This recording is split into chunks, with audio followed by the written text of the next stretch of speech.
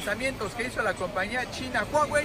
Y pues bueno, hoy Karen Ortega nos trae ya más específicamente qué fueron los que presentaron, cuáles son los precios de los equipos y por supuesto, lamentablemente no tenemos la fecha para México, pero bueno, de que van a llegar entre octubre, finales de octubre y principios de noviembre, eso es un hecho. Pero bueno, ¿qué le parece? Vámonos rápidamente a saber cuáles son las especificaciones de los nuevos equipos que presentó la compañía Huawei ayer por la mañana.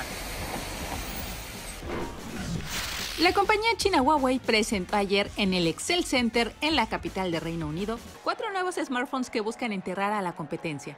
Mate 20, Mate 20 Pro, Mate 20X y Mate 20 RS Forge Design.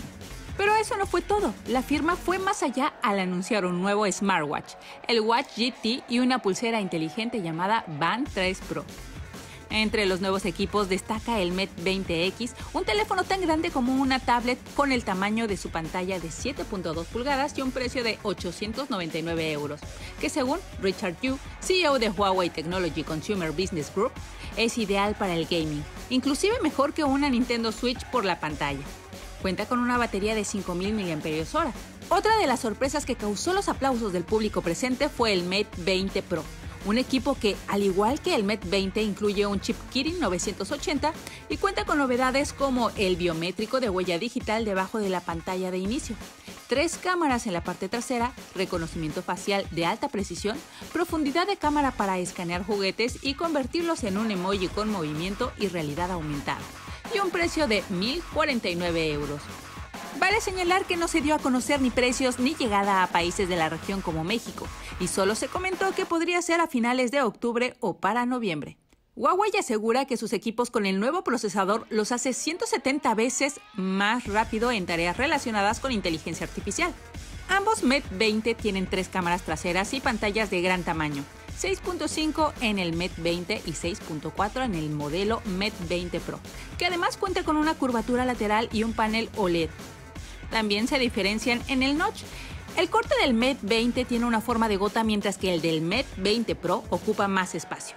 El Mate 20 cuenta con 4 GB de RAM y 64 GB de almacenamiento y parte de 799 euros, mientras que el Mate 20 Pro se sube hasta 1049 euros a cambio de 6 GB de RAM y 128 GB de almacenamiento.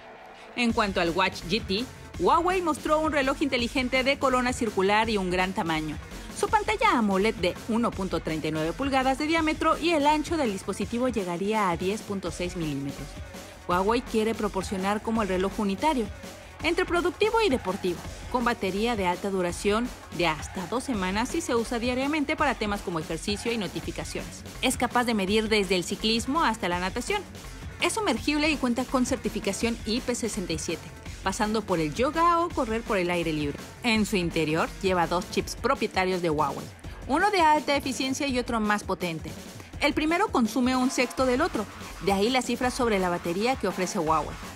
El sistema de monitorización de pulsaciones también es propio de la compañía china.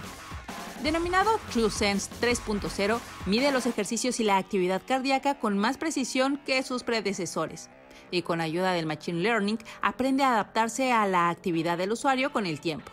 Llegará en colores negro y plata, construcción en metal y cerámica, y con correas de cuero en blanco y negro. Su precio, 249 euros. La pulsera inteligente Band 3 Pro cuenta con una pantalla touch, mide ejercicio, monitorea la salud y tiene un costo de 99 euros. Finalmente, Richard Yu presentó el lujo hecho teléfono con el Huawei Mate 20 RS Port Design el cual cuenta con las mismas prestaciones que el Met 20 Pro, pero esta cuenta con parte trasera protegida con cuero, un diseño estilizado trabajado con gente de la firma alemana y un precio que llega hasta los 2.049 dólares. No llegará de momento a México ni a ningún otro país de la región. Para imagen, Karen Ortega. Bueno, después de ver parte de lo que presentó ayer Huawei con su línea Mate 20,